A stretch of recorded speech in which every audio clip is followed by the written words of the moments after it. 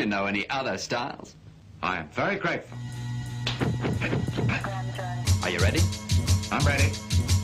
A few weeks ago on Twitter, as one does, I had a run in with a group of London black cab drivers. If you didn't know, the London Taxi Drivers Union, who have had a monopoly on ply for hire taxi trade in London for decades, successfully ran Uber out of town by removing their license, backed of course by that champion of social justice, Sadiq Khan, and of course the virulently anti business Guardian and its readers.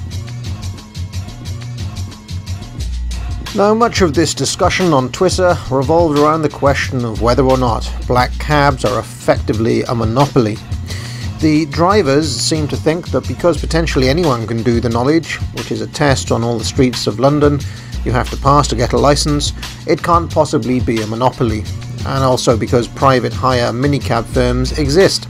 Of course, I got them to admit that since no one else is allowed to ply the streets looking for trade in a taxi, or, for example, wait outside a train station, then effectively they don't have any real competition. I also got them to admit that there is a price fix across the city since all black cabs charge the same fares. So a customer wanting to hail a cab in London can only choose between different black cabs which all charge the same fares. That sounds like a monopoly to me. Now, what was most striking through all of my discussions with the black cabbies, however, was how none of them uh, could seem to comprehend the idea of competition from a new upstart like Uber. To them, Uber were not competing, they were guilty of predatory pricing. And the fact that their prices aren't fixed but indeed fluctuate with supply and demand is not them being responsive to market forces, it is rather them manipulating prices. In fact, they jumped through whatever hoops they could in order to avoid facing basic reality. The problem with Uber is a health and safety issue. The problem with Uber is predatory pricing. The problem with Uber is that they exploit their drivers. The problem with Uber is that they manipulate prices. Of course, the real problem with Uber is that they are giving customers a service that they want at a price point they want. The basic reality is that new GPS technology has superseded the knowledge. The USP of the London cabbies, which was giving people what they wanted two or three decades ago, is now outmoded and overpriced. Anyway, this situation with the London cabbies and Uber is the tale of pretty much every labour union. Unions have persistent features which I'll list here. They are fiercely anti competition, they try to claim exclusive rights to a given job for its members, they try to protect their own potential job losses by denying that work to others, they aim to inflate wages above market value, they are anti innovation and anti new technology, they often gain the support of the media and the public through sob stories. And the net result of all of this is less choice for customers at higher prices. And another net result of all of this is that more jobs are lost than if competition and innovation were embraced in the first place. Now, one reason for the persistence of these erroneous beliefs about jobs peddled by unions and their supporters, who are all deeply ignorant of economics, is because they think only of their immediate circumstances. I want to take you through a couple of other examples. Let us take the elevator operator. This was once the job for many thousands of people, and of course there was, and it turns out there still is, an elevator operator union. According to this pro union puff piece printed in the New York edition of The Observer only last year, a union operator costs around $85,000 a year. Multiply that uh, by the four and a half staff members needed to run an elevator around the clock, and you're laying out more than $380,000 a year to run one elevator. Now, clearly, no matter which way one slices it or tries to puff it up, pushing buttons in a bloody lift is not an 85 grand a year job. And of course, it has been inflated to such a ridiculous degree by none other than unions. And now, something which was an everyday job has been automated practically out of existence, and those lucky enough to get a job as an elevator operator do so only for the utmost elites of society. One wonders if it had remained at market rates, whether this might have happened as quickly as it did. Here we can see a union that had a very large hand in accelerating the demise of its own employment market. Because this is what unions often mean. It's fantastic for those lucky enough to have a job, but for all those priced out and left unemployed, the real minimum wage is zero and so long as it is cheaper for firms to automate their elevators than have someone operate them, the elevator operator will go the way of the dodo.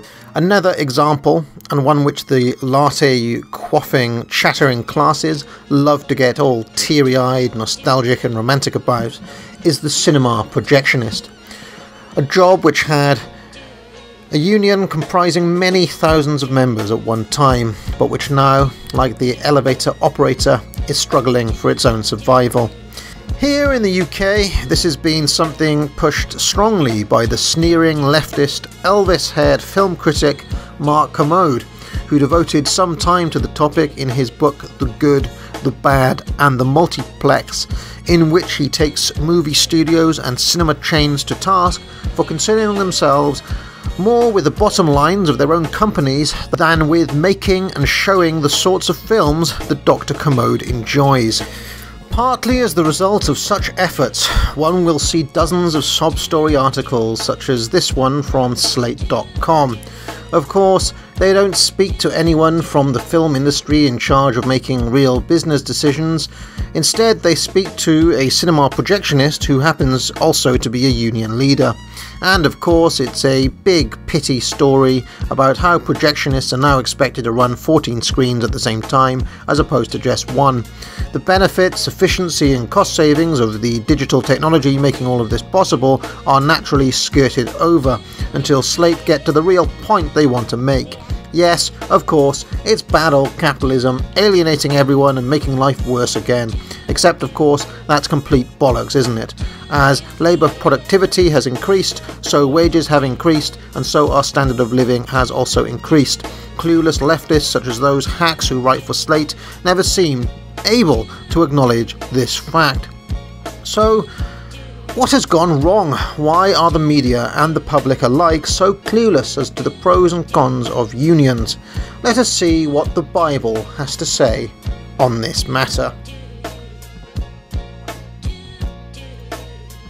At any given time, a protective tariff or other import restriction may provide immediate relief to a particular industry and thus gain the political and financial support of corporations and labour unions in that industry but like many political beliefs, it comes at the expense of others who may not be as organised, as visible, or as vocal.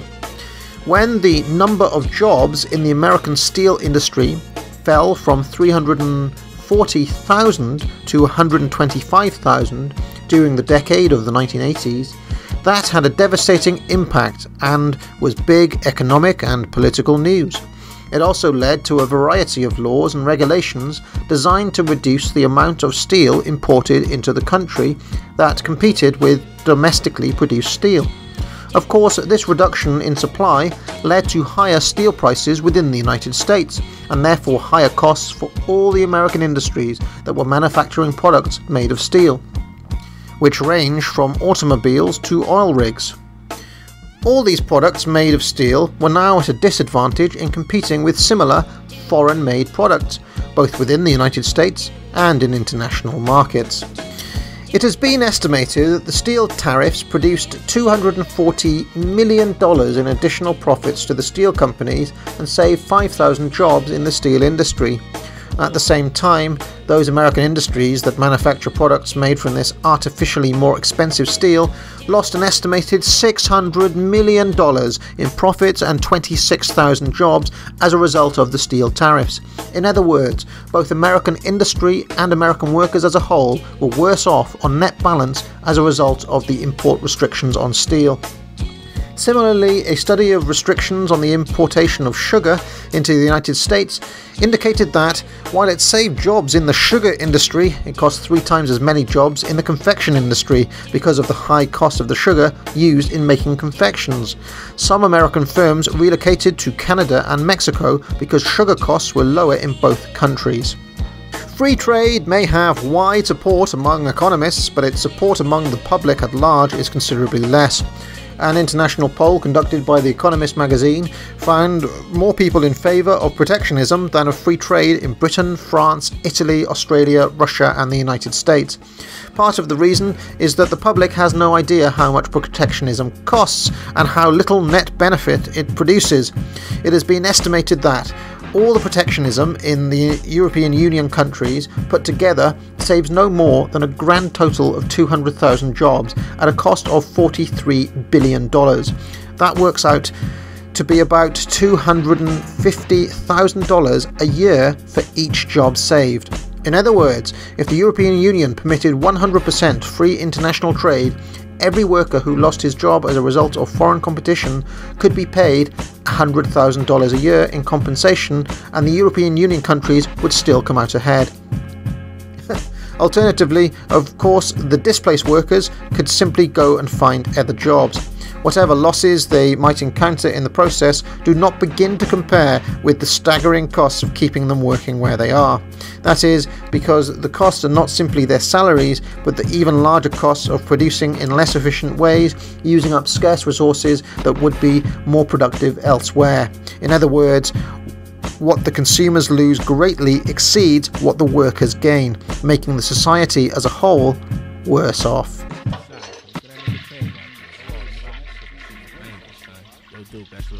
Another reason for public support of protectionism is that many economists do not bother to answer either the special interests or those who oppose free trade for ideological reasons. The arguments of both have been essentially refuted centuries ago and are now regarded within the economics profession as beneath consideration. For example, as far back as 1828, British economist Nassau W. Senior wrote, High wages, instead of preventing our manufacturers from competing with foreign countries, are in fact a necessary consequence of the very cause which enables us to compete with them, namely the superior productiveness of English labour. But economists' disdain for long refuted fallacies has only allowed vehement and articulate spokesmen to have a more or less free hand to monopolise public opinion, which seldom hears more than one side of the issue. And I think I showed that with the articles from uh, Slate.com. Legendary Labour leader John L. Lewis, head of the United Mine Workers from 1920 to 1960, was enormously successful in winning higher pay for his union's members. However, an economist also called him the world's greatest oil salesman because the resulting higher price of coal and the disruptions in its production due to numerous strikes caused many users of coal to switch to using oil instead. This, of course, reduced employment in the coal industry. By the 1960s, declining employment in the coal industry left many mining communities economically stricken, and some became virtual ghost towns. Media stories of their plight seldom connected their current woes with the former glory days of John L. Lewis. In fairness to Lewis, he made a conscious decision that it would be better to have fewer miners doing dangerous work underground and more heavy machinery down there, since machinery could not be killed by cave ins, explosions, and other hazards of mining. To the public at large, however, these and other trade offs were largely unknown. Many simply cheered at what Lewis had done to improve the wages of miners, and years later were compassionate towards the decline of mining communities, but made little or no connection between the two things. Yet what was involved was one of the simplest and most basic principles of economics that less is demanded at a higher price than at a lower price. That principle applies whether considering the price of coal or the labour of mine workers or anything else. Very similar trends emerged in the automobile industry, where the danger factor was not what it was in mining. Here, the United Automobile Workers Union was also very successful in getting higher pay, more job security, and more favourable work rules for its members. In the long run, however, all these additional costs raised the price of automobiles and made American cars less competitive with the Japanese and other cars, not only in the United States but in markets around the world. As of 1950, the United States produced three quarters of all the cars in the world, and Japan produced less than 1% of what Americans produced. 20 years later, Japan was producing almost two thirds as many automobiles as in the United States, and 10 years after that, more automobiles. By 1990, one third of the cars sold within the United States were Japanese. In a number of years since then, more Honda Accords or Toyota Camrys were sold in the United States than any car made by any American car company. All this, of course, had its effect on employment. By 1990, the numbers of jobs in the American automobile industry was 200,000 less than it had been in 1979. Political pressures on Japan to voluntarily limit its export of cars to the United States led to the creation of Japanese automobile manufacturing plants in the United States itself, hiring American workers to replace the lost imports. By the early 1990s, these transplanted Japanese factories were producing as many cars as were being exported to the United States from Japan. And by 2007, 63% of Japanese cars sold in the United States were manufactured within the United States. Many of these transplanted Japanese car companies had workforces that were non union and which rejected unionisation when votes were taken among the employees in secret ballot elections conducted by the government. The net result by the early 21st century was that Detroit automakers were laying off workers by the thousands, while Toyota was hiring American workers by the thousands. So I think Thomas Sowell in Basic Economics answers many of the questions that you may have had about this topic, but such is the persistence of the complete balderdash around unions that I must leave even Sowell behind here in order to further debunk them. I must turn to some old scriptures. I have referred to various union makework and featherbed practices. These practices and the public toleration of them spring from the same fundamental fallacy as the fear of machines. This is the belief that a more efficient way of doing things destroys jobs, and its necessary corollary that a less efficient way of doing it creates them.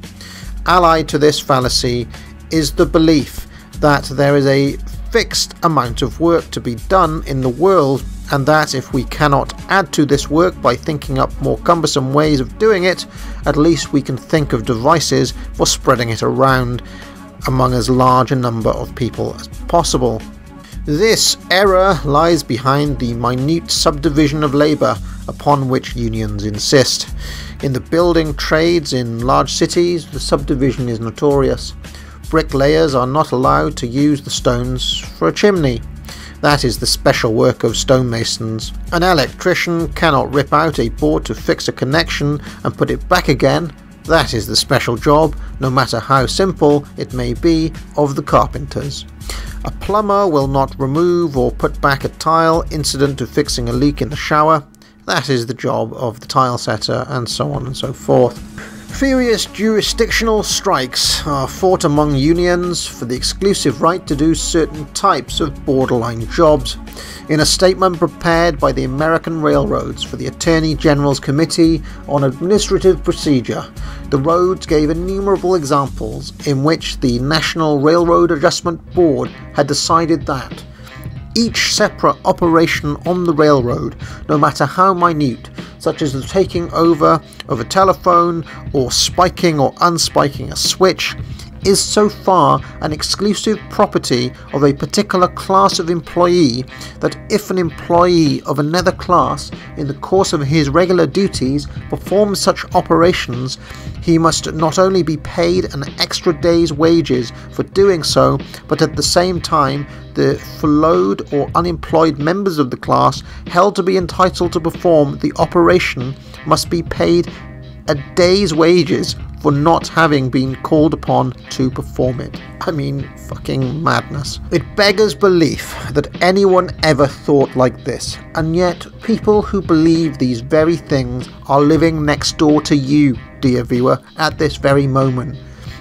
Indeed, you may even be living with someone who believes these things. Maybe even you yourself believe them until you watch this video. How else can we account for the sheer number of Bernie bros and Corbynistas in our midst? Anyway, that brings me to a second erroneous belief that Henry Hazlitt, like a white knight of economics, strikes down the idea that unions are responsible for wages increasing. And here is Hazlitt once again. The belief that labour unions can substantially raise real wages over the long run and for the whole working population is one of the great delusions of the present age. This delusion is mainly the result of failure to recognise that wages are basically determined by labour productivity. It is for this reason, for example, that wages in the United States were incomparably higher than wages in England and Germany, all during the decades when the labour movement in the latter two countries was far more advanced in spite of overwhelming evidence that labour productivity is the fundamental determinant of wages. The conclusion is usually forgotten or derided by labour union leaders and by that large group of economic writers who seek a reputation as liberals by parroting them. But this conclusion does not rest on the assumption, as they suppose, that employers are uniformly kind and generous men eager to do what is right. It rests on the very different assumption that the individual employer is eager to increase his own profits to the maximum. If people are willing to work for less than they really are worth to him, why should he not take the fullest advantage of this?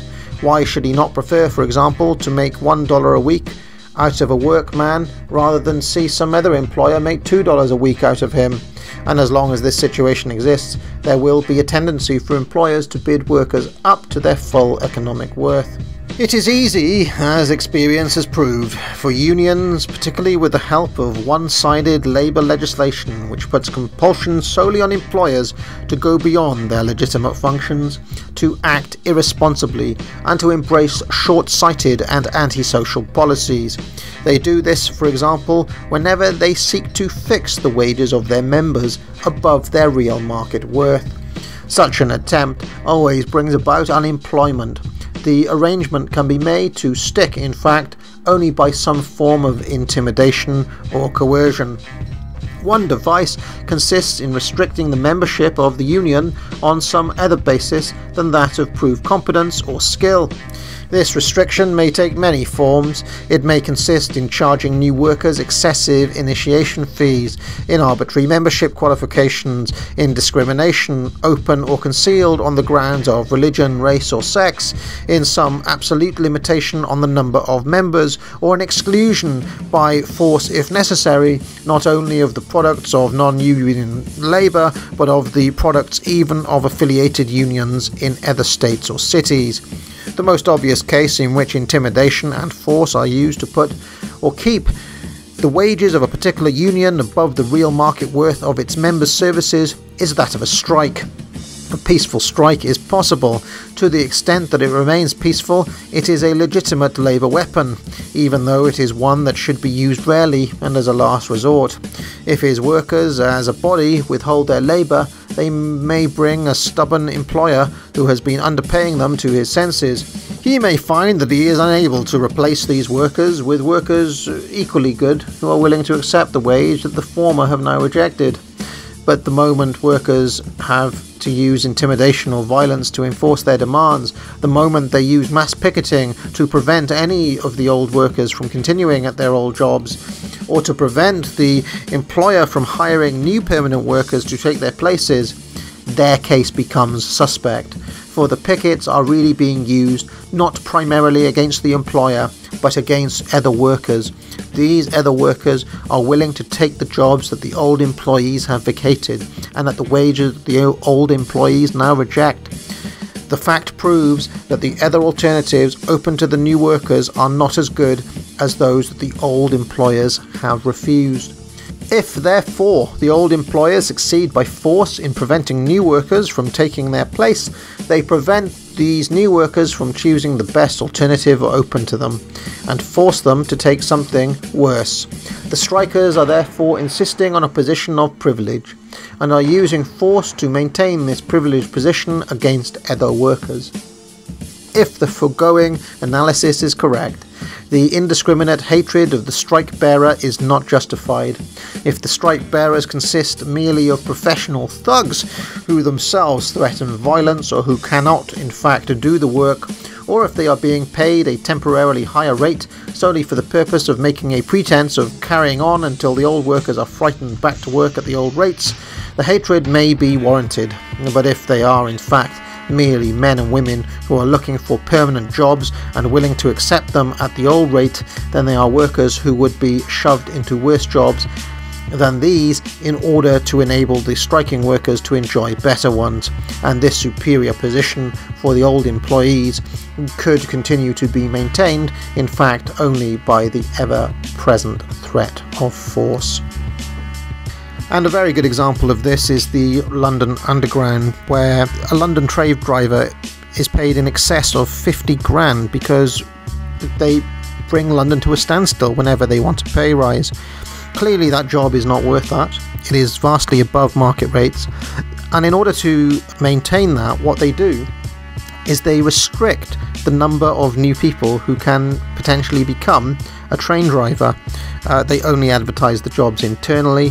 So, what they do is they artificially limit the supply of potential new train drivers, thereby pushing up demand for their existing services. It is a protection racket. It is uh, exactly what Hazlitt describes.